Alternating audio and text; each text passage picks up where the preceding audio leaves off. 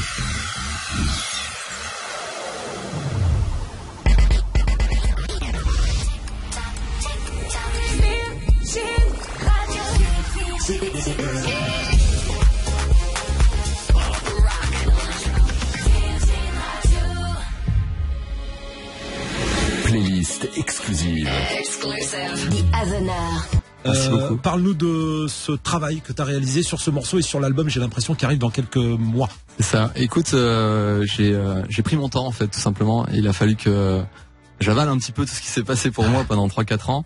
Et euh, j'ai- voulu, euh, si tu veux, partir un petit peu sur des choses euh, un peu plus positives, un peu moins mélancoliques, où on a envie euh, de vivre, on a envie de de, de, de, pas se préoccuper réellement de, de, la négativité, tout ce qui est sombre dans notre vie quotidienne, etc. J'ai envie de donner un peu de liberté aux gens à travers une musique euh, très euh, aérienne. Et euh, c'est ce que j'ai voulu faire à travers ce premier, premier extrait. Du coup, il y a une façon différente de travailler? Quand c'était sur la mélancolie du premier album euh, comparé à la- le côté festif de ce, de ce nouveau projet. Ouais, bah alors euh, c'est vrai qu'il y a une manière qui est un petit peu différente parce que le premier album déjà il y avait beaucoup de reprises, beaucoup de rework. On- Donc je prenais une chanson originale, je la retravaillais à ma manière, etc. Et euh, sur cet album c'est que des, des compos quasiment. Il y a deux trois reworks qu'on retrouvera. J'espère que ça plaira. Mais il y a, il y a, il y a beaucoup de de- d'initiatives personnelles, en tout cas artistiques, que j'avais envie de- d'exprimer euh, vraiment euh, harmoniquement, mélodiquement, à travers des paroles.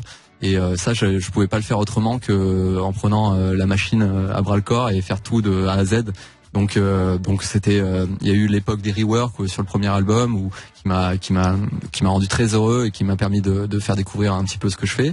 Et là, c'est vrai que c'est un message plus personnel où j'avais vraiment envie de de produire, de faire de la musique avec euh, des, musiciens, des, producteurs, des, paroliers, euh, un peu de, de tous bords, de tous horizons, euh, tout, dans tous les pays.